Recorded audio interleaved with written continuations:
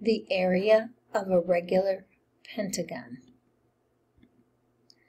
When I have a regular pentagon, it is a five-sided polygon because it's a pentagon and it's regular so all sides are congruent.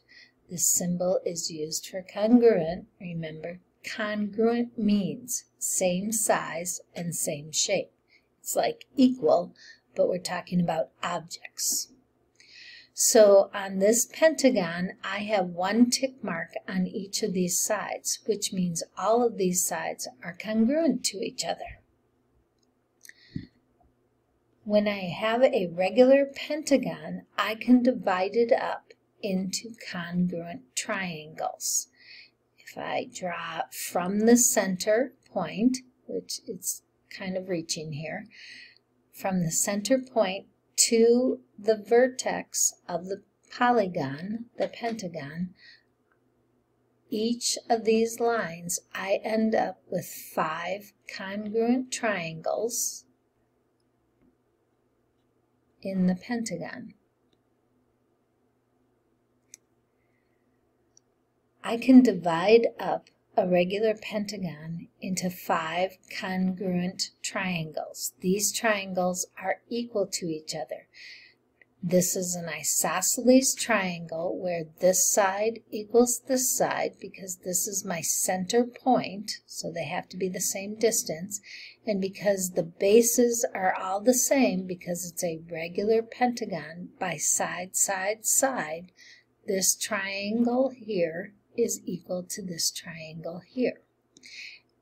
Then I can take one of these triangles and find the area of it. So my plan would be to find the area of one triangle and then multiply it by 5 and that would give me the area of the regular pentagon. So to find the area of a triangle, it is 1 half the base times the height. There's a special name for the height of a triangle in a regular polygon. That is called the apothem. The height of the triangle is called the apothem. Apothem in any regular polygon is a perpendicular bisector from the center to any of its sides. So this is the height of the triangle it has to be perpendicular to the side for it to be the height, which means it makes a 90 degree angle on this side. This is our symbol for perpendicular instead of writing out the whole word. Bisector, since this is an isosceles triangle, this side is equal to this side. When I have my height and I divide it into two equal triangles again, but they're right triangles. So I am bisecting the side, which means cut into two equal parts. So this side is equal to this side, even though this is one side of the polygon. What is the area of a regular pentagon if the apothem is 2 and 6 hundredths units, and a side is 3 units. So the apothem, my height, is 2 and 600 units, and the side of the pentagon is 3 units. So apothem is the height of a triangle in a regular polygon, 2 and 600 units.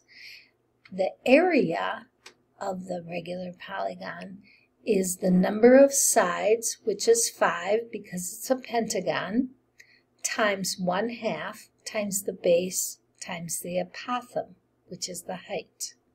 So I have 5 sides times a half times the base, which is 3 units, that's given in the problem, times the apothem, which is given in the problem, as 2 and 6 hundredths units. When I multiply this all out, I get 15 and 45 hundredth units squared. So if I'm finding the area of a regular polygon, I can partition it divide it into non-overlapping parts into congruent triangles. And then I can find the area of one of the triangles and multiply it by the number of sides to find the area of the regular polygon. Remember that the height of the triangle that you partition it into is called the apothem.